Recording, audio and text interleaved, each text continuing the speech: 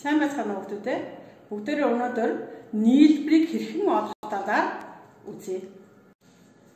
За бүгдээрээ дараах гурвалжинд хэдэн дугуй байна вэ гэдэг бодлогыг ботъё. За бид нэр ингээд зургаар бодлого өгсөн байна. Эхнийг нэт 1 дугуй, 2 дугаарыг нэт 2 дугуй, 3 дугаарыг нэт 3 дугуй, 4 дугаарыг нэт 4 дугуй, их мэтлэнгийн 1000 дугаарыг нэт мянган дугуй байна. За энэ бодлогыг бодохдоо бүгдээрээ яаж бодох вэ? Дистрассан 1000 хүртэлх тооны нийлбэрийг олно гэсэн тийм ээ.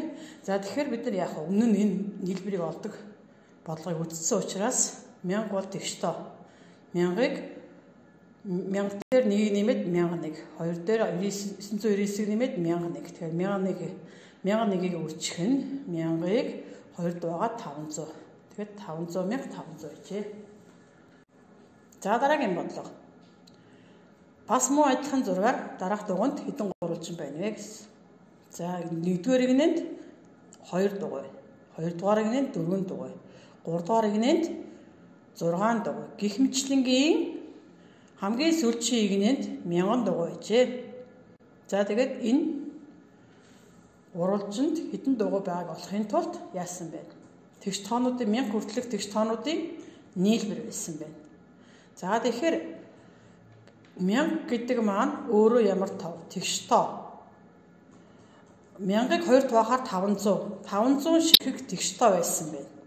500 ширхэг тэгш тоо. Өөрөөр хэлбэл 2-оос 1000 хүртэлх 500 ширхэг тэгш тоо байна. Тэгэхээр 1000 дээр 2-ыг нэмээд 1002. 4 дээр 998-ыг нэмээд 1002. Тэгэхээр 1002-ыг яах нь вэ? 500 хуваах нь 2 байх нь. Тэнцүү 1200-ыг үржих нь 250. Ингээд 250 мянга 500 байжээ. За дараагийн бодлого. За мөн адилхан гурвалжинд хэдэн дугуй байна вэ гэсэн. Гэхдээ нэгдүгээр игнэнд 1, хоёрдугаар игнэнд 3 дугуй, гуравдугаар игнэнд 5 дугуй, дөрөвдүгээр игнэнд 7 дугуй. Гэх мэтлэнгийн хамгийн сүүлчийн игнэнд 499 дугуй байжээ.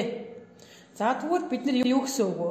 1-ээс 499 хүртэлх сондгой тоонуудын юу вэ? Нийлбэр гэсэн үг тийм ээ.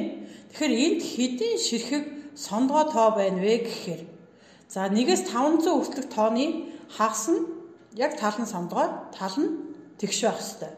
Тийм учраас 500 2 туахаар 250 ширхэг сондгой тоо байжээ. За тэгээд 500 ширхэг 250 ширхэг сондгой тоо учраас бид нар яах вэ? 250 шиг сондгоо тог 2 2-оор нэмье. Тэгээд 1 дээр 499-ийг нэмээд 500. 3 дээр 497-г нэмээд 5 500. За ингээд 500 үржих нь 250-ыг хуваах нь 2 буюу 500 үржих нь 125 байх нь. За ингээд 62500 болчихъя.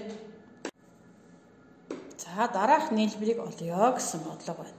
За энд 51-ээс ахуулаад 99-ийг дуслах бүх Дистрасн тоонуудын нийлбэр байна. Өөрөөр 51 дээр нэмэх нь 52, 53 гэмчлэнгийн 95, 97, 98, 99 хүртэлх тоонуудын нийлбэр байна. За ингээд энэ хэдийн ширхэг байна вэ гэхээр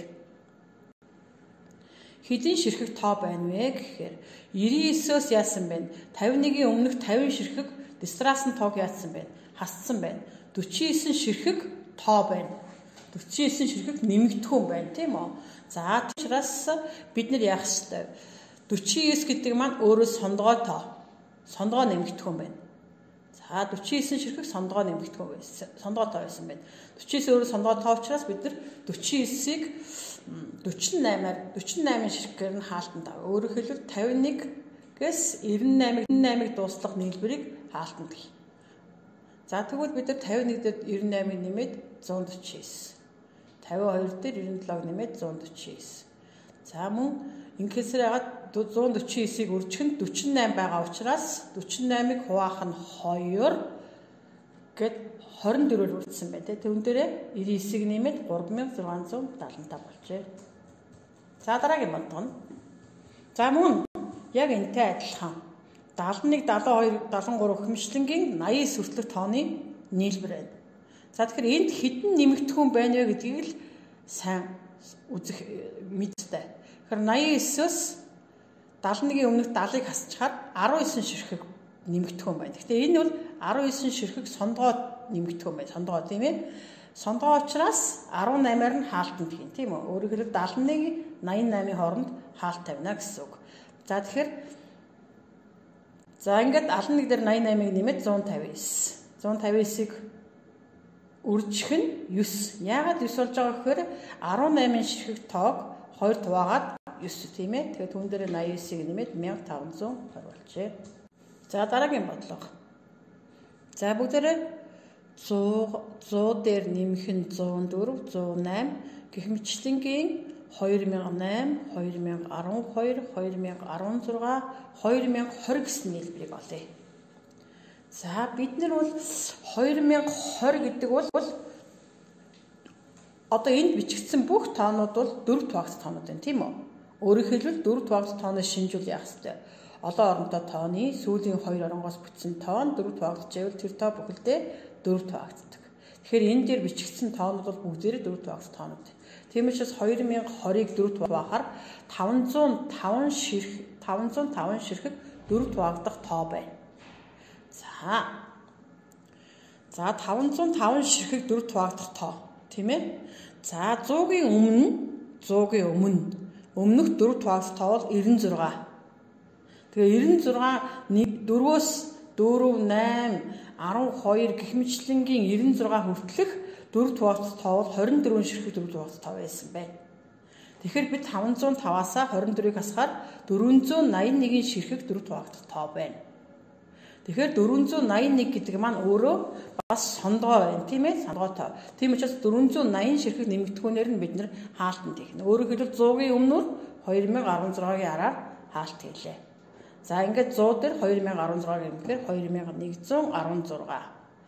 За ингээд яах нь 2116-г үржих нь 480-ыг хуваах нь 2 нэмэх нь 2020. Тэнцүү 2016-г үржих нь 240 нэмэх нь 2020. Ингээд 509,860 гарчээ. За дараагийн бодлого. 110 дээр нэмэх нь 120, нэмэх нь 130, нэмэх нь гихмшлэнгийн 1990 дээр нэмэх нь 2000, нэмэх нь 2010, 2020 гэсэн тоонуудын нийлбэрийг олъё. За. За энэ 2000 энд 20 хүртэлх энд бичигдсэн бүх тоонууд бол яаж юм? 10 туагдах тоонууд байна тий? Өөрөөр хэлбэл 10-аар өссөн байгааз. Тийм учраас яах вэ? 2020 хүртэлх нийт 10 туагдах тоо бол 2020-ыг хуваах нь 10 тэнцүү 2202 за 110-аас өмнөх 10 20 30 40 50 60 70 80 эргээд 100 хүртэлх 10 туагдах тоо бол 110 туагаад 10 ширхэг байсан байна. Тэгээ 2020-оос 10-ыг хасгаар 192 ширхэг 10 туагдах нэмэгдэхүүн байсан байна. За тэгэхээр 192 маань өөрөө тэгштэй учраас бид нар яах вэ? Шууд 110 дээр 2020-ыг нэмээд 2130. За ингээд 120 дээр 2010-ыг нэмээд 2130. За ингээд 2130-ыг үржих нь 192-ыг хуваах нь 2 тэнцүү 2130-ыг үржих нь 96 тэнцүү 204480 байжээ.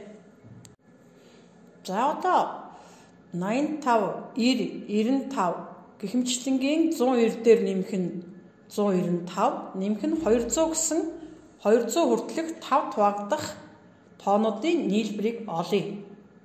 За 85-аас 200 хүртэлх тийм ээ. За ингээд 200 хүртэлх 5 туагдах бүх тоо бол 40 ширхэг байсан байна.